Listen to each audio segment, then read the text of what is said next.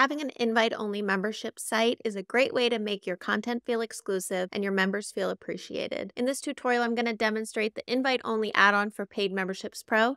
It's a pretty complex add on, so I'm going to do a basic setup where I just set up one level ID to require invitation, and members of that level get a code they can share with their friends. Keep watching. Okay, here's my Must Love Dogs demo site. I'm going to navigate to Memberships Add-ons and install the feature.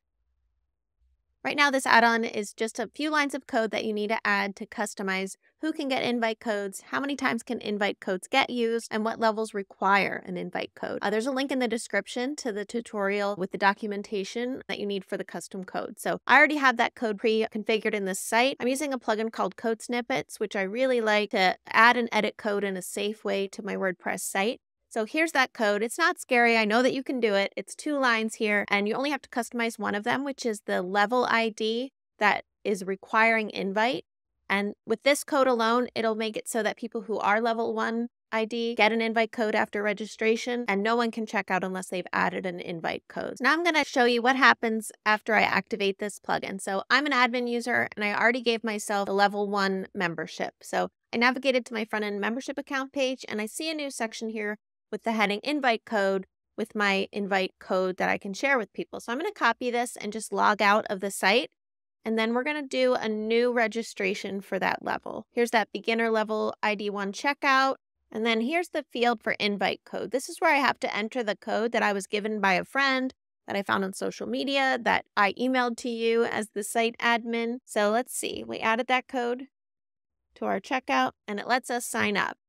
What would happen if I didn't enter a code at checkout? What kind of error would I see? We can show that now in the site. I just want to point out that after registration, it gave that test user we created a unique invite code. So it kind of creates that trickle down effect. I got invited by someone and I pass my code on to someone else. The codes by default have unlimited uses, but you can define how many uses per code in a custom code also. So there's lots of flexibility here. I think this is an add on we want to try to expand in time, but we just need more feedback. So if there's something you want to do with invitations that isn't possible with this plugin at the time, just reach out on our contact page, post a comment below, and we'll take those into account as we work on these next phases. I'm back in the site here. I just want to show you the error message that would show for someone that tries to register for membership without an invite code. I'm going to leave the invite code field blank, but I'll complete all the other information and submit my checkout. So what happens?